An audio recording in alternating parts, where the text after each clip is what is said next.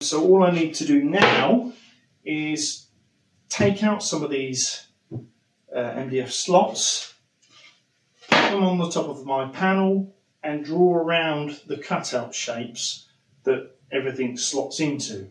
Then I can go in with a jigsaw and cut those out and we should have a perfect copy of one section of the sofa but much smaller if everything goes well, which will fit perfectly in between our armrests that we built last year. So let's get on with that.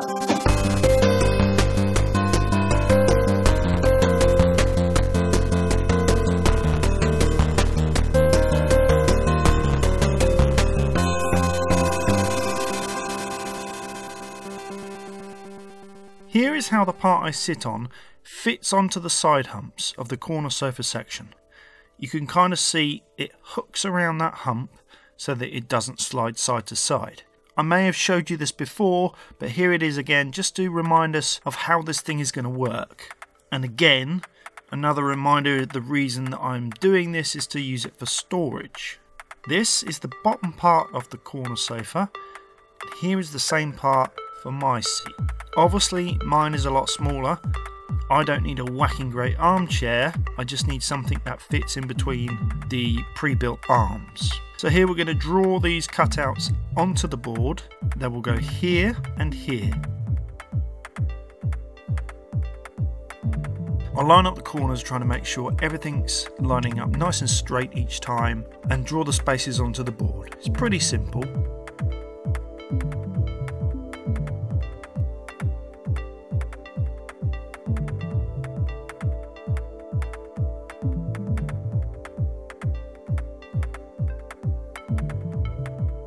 Here's a close-up.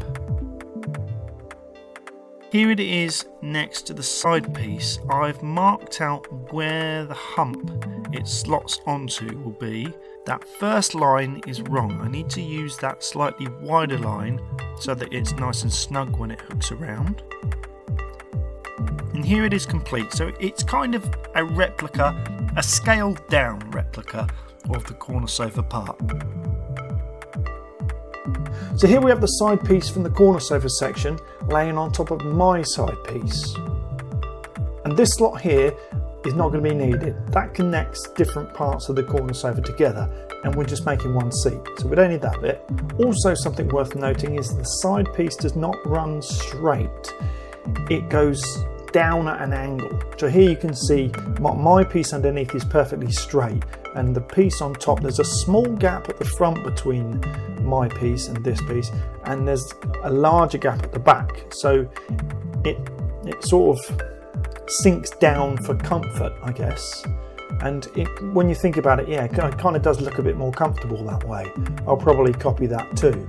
And you can see if I lay the pieces out like this it's like we're looking at it from a side angle now the longer piece would be the backrest and the other piece obviously I'm going to be sitting on that the backrest is going to slot into the side piece with this angled cutout. You can see here, it just kind of slots in there. And we've got these, um, I'm going to call them humps, but there's probably a more technical name for them, but humps is going to do for me. The bottom part, the seat bit, is going to sort of hook onto those. And with the bit that I sit on not screwed down, that means I can lift it up and put something inside the box. Uh, again, I'm not sure what I'm going to put in there, probably controllers or something like that. So, four cutouts on the seat and two humps on each side, so four in total. And I'll show you here on the side piece, one at the back, and one at the front.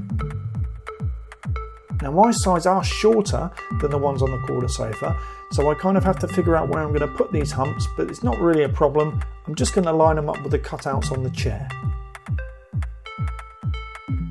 And here's how the seat sits on the corner sofa. And this is the design that we're going to copy. This little part here hooks around the hump and sort of stops it sliding side to side. So you don't, you know, you don't want the the seat flying off and, and falling and you fall off the chair. No, so that kind of stops that. Here I've marked out where I want the hump to be. The first one is right next to that angled cut for the backrest. And the second one is almost on the end of the side piece. Here's a closer view. I made the first line there too small. I want to go on this second line so that when it hooks around that, it's nice and snug. Now I'm lining up the angle of the seat using the corner sofa side piece and I'm going to draw around the humps. Now I've marked out where I want them to be. Kind of outshot here, but here's a closer view, that's a bit better. Hopefully you can see the pencil mark there. Here's the slot for the backrest. I was thinking about making that a bit deeper than on the corner sofa because my backrest is a little bit taller. But I think what I'm going to do is just keep it the same and then try it out. And if it feels unstable, it feels like it, you know, might come out or snap or whatever, then I'll go back and make it a bit deeper. That shouldn't be too hard to do. Okay, now I'll line up the angle again and draw around the second hump where I marked the location earlier. And then I'll mark up with pen just so it's extra clear when I go to saw it up.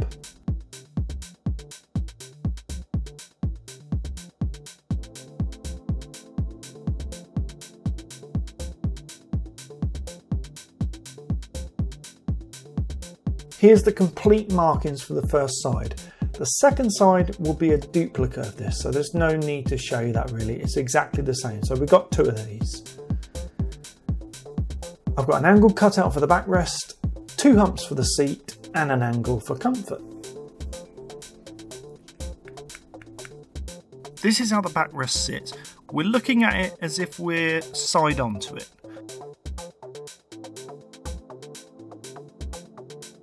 And here is how it will slot into the side piece. There are two small cutouts on the backrest. We're going to do the same as with the bottom part and draw around those. And again, the size is slightly different. My backrest is narrower, but it's also longer, higher. I want something that's going to fit in between my armrests. But I also wanted some head support and neck support, which the corner sofa doesn't offer. That sort of cuts off, I don't know, somewhere halfway up my spine. I want this to support my head. That's why my backrest is taller, obviously. Here's a close-up of the cutout shapes on the backrest, which slot into the side parts angled cutout. And hopefully that will stop it sliding around side to side in the same way that the bottom part of the chair hooks around the side pieces and stops that from sliding side to side.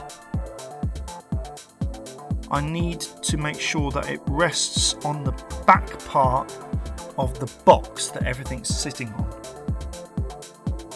If you're struggling to follow along with any of this, please don't worry. In the next Elite Dangerous related video I upload, I will be cutting these pieces up, possibly assembling them, depends on the length of the video. Um, but things will become a lot clearer when I start doing that, and you, you'll be able to see what it is that I'm trying to do if I'm not um, explaining it to you in an easy to understand way. I'm doing my best, but it will be easier to show you, is what I'm trying to say. I've mentioned it before, but the focus now with the Elite Dangerous playlist is to keep working on this cockpit until it's done. And again, I have been sidetracked trying to give you some variety in the playlist with gameplays and tips and things like that. But that's meant the cockpit has sat there unfinished, and people that watch those videos have wondered if it's ever going to be finished or just left half done. And I've been sitting on a dining room chair, uh, which is really uncomfortable way to play Elite Dangerous. so I'm happy that we're finally moving a, along with this, and I'll be able to sit in comfort at last. I'd also like to thank everybody that watched those cockpit videos that I made some time ago because I got a fair amount of views for those. I was quite happy with the way those went. And I do hope that the same people come back and watch it completed. So please join me for the next episode of the Cockpit series in the Elite Dangerous playlist. Have a great day, keep gaming, look after each other. For now, this is Commander 64 signing off.